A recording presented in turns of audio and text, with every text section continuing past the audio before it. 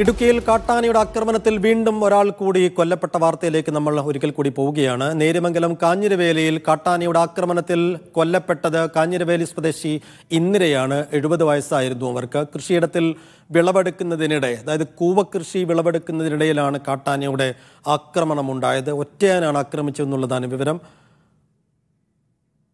അക്കരെ നിന്ന് ടീം ഇക്കരയ്ക്ക് ഓടിക്കുന്നു. ആർ ആർ ടീം അല്ല നാട്ടുകാർ ഇക്കരയ്ക്ക് ഓടിക്കുന്നു. ഇവിടെ നിന്ന് അങ്ങോട്ടുള്ളത് അങ്ങോട്ട് ഓടിക്കുന്നു. എന്നിട്ട് ലാസ്റ്റ് ഈ പുഴ വട്ടം കിടന്ന് ആന തിരിച്ച് കാഞ്ഞിരവേലി ഭാഗത്തേക്ക് കയറി. കാഞ്ഞിരവേലി ഭാഗത്ത് കയറി ഈ ചേച്ചി അവിടെ പൂവ് കുറച്ചുകൊണ്ടിരിക്കുകയത് പറമ്പിൽ. അന്നേരമാണ് ആന വന്ന് തട്ടിയിട്ട് പോയത്. സിജോ വർഗീസ് വിവരങ്ങൾ നൽകും. സിജോ ഒരു നാട്ടുകാരന്റെ പ്രതികരണമാണ് അല്പം മുമ്പ് നമ്മൾ കണ്ടത്. അപ്പോൾ ഈ കൂവ പറിച്ചുകൊണ്ടിരിക്കുന്നതിനിടയിൽ പട്ടാപ്പകൽ കട്ടാനയുടെ ആക്രമണത്തിൽ ഒരാൾ കൂടി ഇടുക്കിയിൽ കൊല്ലപ്പെടുമ്പോൾ ആ ഭാഗങ്ങളിൽ ഇത് ഇടയ്ക്കിടെ ഈ കട്ടാന ഇറങ്ങുന്ന ഒരു ഏരിയ ആണോ എന്താണ് ഇപ്പോൾ നാട്ടുകാരൊക്കെ പറയുന്നത്? പെട്ടെന്ന് തന്നെ ഇവരെ ആശുപത്രിയിൽ എത്തിക്കാനും ചികിത്സ നൽകാനും കഴിഞ്ഞില്ലേ? സൈഫുദ്ദീൻ കാട്ടാന ശല്യം അതിരൂക്ഷമായ ഒരു പ്രദേശമാണ് കാഞ്ഞിരവേലി എന്ന് പറയുന്നത്. എറണാകുളം ഇടുക്കി ജില്ലകളുടെ അതിർത്തി പ്രദേശമാണ്. അടിമാലി പഞ്ചായത്തിന്റെ ഇടുക്കി ജില്ലയിലെ അടിമാലി പഞ്ചായത്തിന്റെ ഭാഗമാണ്.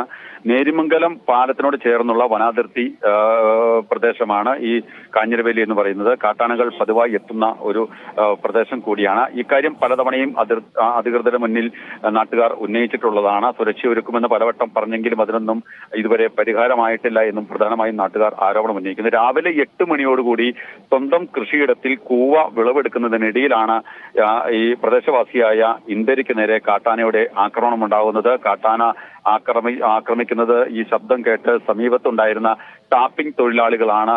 ഈ പരിസരത്തേക്ക് വരികയും ആനയെ അകറ്റാൻ അകറ്റുകയും ചെയ്തത്. അതിനുശേഷമാണ് ഈ ടാപ്പിംഗ് തൊഴിലാളികൾ നാട്ടുകാരുടെ സഹകരണത്തോടു കൂടി ഇന്ദിരയെ അവിടെ നിന്ന് കോതമംഗലത്തെ ആശുപത്രിയിലേക്ക് എത്തിച്ചത്. ഈ ആശുപത്രിയിൽ എത്തിച്ചെങ്കിലും ഇന്ദിരയുടെ ജീവൻ രക്ഷിക്കാനായില്ല.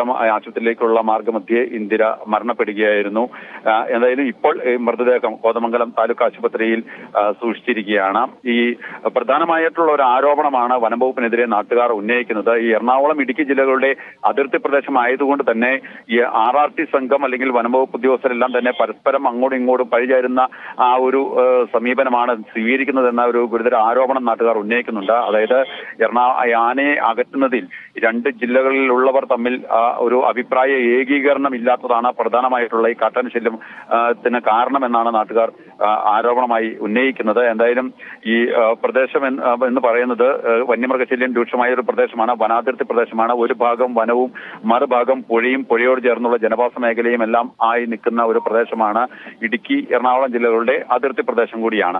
അതുകൊണ്ട് തന്നെ ഈ കാട്ടാന ശല്യം കാട്ടാന ശല്യത്തിന് പരിഹാരം ഉണ്ടാക്കണമെന്ന കാലങ്ങളായിട്ടുള്ള ഒരു ആവശ്യം കൂടിയാണ് ഇവരുടേത്. അക്കാര്യത്തിൽ ഒരു പരിഹാരം ഉണ്ടാകിയിട്ടില്ല എന്നുള്ളത് ഏറ്റവും ഗൗരവമായ ഒരു പ്രശ്നമാണ്. മറ്റൊരു പ്രധാന കാര്യം ഈ വർഷം അതായത് ഈ രണ്ട് മാസത്തിന് ആകം ഇടുക്കി ജില്ലയിൽ മാത്രം അഞ്ചു പേർക്കാണ് കാട്ടാനയുടെ ആക്രമണത്തിൽ ജീവൻ നഷ്ടപ്പെട്ടത് എന്നുള്ളത് ഈ കാട്ടാന ശല്യത്തിന്റെ അല്ലെങ്കിൽ കാട്ടാന ആക്രമണത്തിന്റെ ഗൗരവം വർദ്ധിപ്പിക്കുന്നു എന്നുള്ളതും എടുത്തു പറയേണ്ട ഒരു കാര്യമാണ്. നിസ്സാരമായി കരുതേണ്ട ഒരു കാര്യമല്ല. കട്ടാനാക്രമണത്തിൽ ഏറ്റവും കൂടുതൽ ആളുകൾ കൊല്ലപ്പെട്ട ഒരു സിജോ ജില്ല കൂടിയാണ് ഉണ്ടാകുന്ന രണ്ടാമത്തെ മരണമാണ്. ഓട്ടോ ഡ്രൈവർ സുരേഷ് കൊല്ലപ്പെട്ടിട്ട് ഇപ്പോൾ ദിവസങ്ങൾ മാത്രമേ ആകുന്നുള്ളൂ. അന്ന് വലിയ പ്രതിഷേധവും പ്രതികരണവും ഒക്കെ നാട്ടുകാരുടെ ഭാഗത്തുനിന്ന് ഉണ്ടായതാണ് ഇതിപ്പോ ഈ സംഭവത്തിന് പിന്നാലെ നാട്ടുകാരുടെ ഭാഗത്തുനിന്നുള്ള പ്രതികരണം ഏതൊക്കെ രീതിയിലാണ്?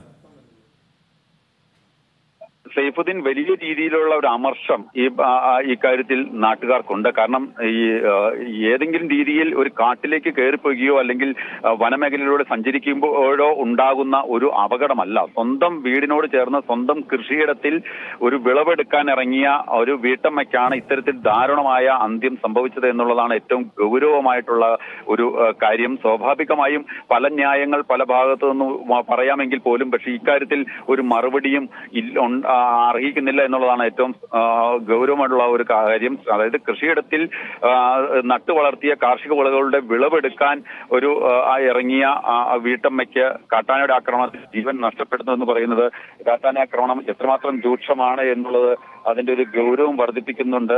എന്തായാലും പല തവണ ഈ മൂന്നാർ കന്നിമലയിൽ സുരേഷ് കുമാറിന്റെ ഓട്ടോ ഡ്രൈവറായ സുരേഷ് കുമാറിന്റെ മരണത്തിന് ശേഷം വലിയ രീതിയിൽ സുരക്ഷയൊക്കെ ഒരുക്കുമെന്ന വനം വകുപ്പ് പറഞ്ഞിരുന്നു. അതായത് കട്ടാൻശേരിയും രൂക്ഷമായ രൂക്ഷമായ പ്രദേശങ്ങളിൽ ഡ്രോൺ ഉപയോഗിച്ചുള്ള നിരീക്ഷണം ശക്തമാക്കും. പ്രത്യേകം ആർ ആർ ടി സംഘത്തെ നിയോഗിക്കും എന്നുള്ള കാര്യത്തിലെല്ലാം തന്നെ ആർ ആർ ടി സംഘത്തെ നിയോഗിക്കും എന്നുള്ള കാര്യത്തിലെല്ലാം തന്നെ ഇത്തരത്തിൽ ഒരു അഭിപ്രായങ്ങൾ എല്ലാം പുറത്തു വന്നിരുന്നു. പലതവണ ചർച്ചകൾ നടത്തിയിരുന്നു. ഡീൻ കുര്യാക്കോസ് എം പി ഇത്തരത്തിൽ നിരാകാര സമരം അനുഷ്ഠിക്കുന്ന തലത്തിലേക്ക് വരെ കാര്യങ്ങൾ നീങ്ങിയിരുന്നു. അത്തരത്തിൽ ഈ പ്രതിഷേധങ്ങളെല്ലാം ഒരു വശത്ത് നടക്കുന്നു. ആ സാഹചര്യത്തിലെല്ലാം അധികൃതർ നൽകിയിരിക്കുന്ന ഉറപ്പ് കാട്ടാനശല്യം രൂക്ഷമായ പ്രദേശങ്ങളിൽ ഫെൻസിംഗ് അടക്കം സ്ഥാപിക്കാനുള്ള നടപടികൾ സ്വീകരിക്കും.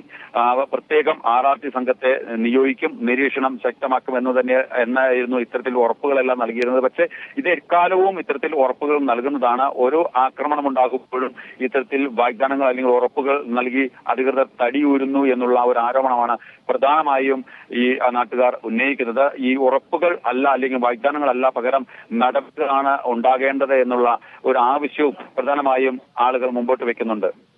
Tiffany.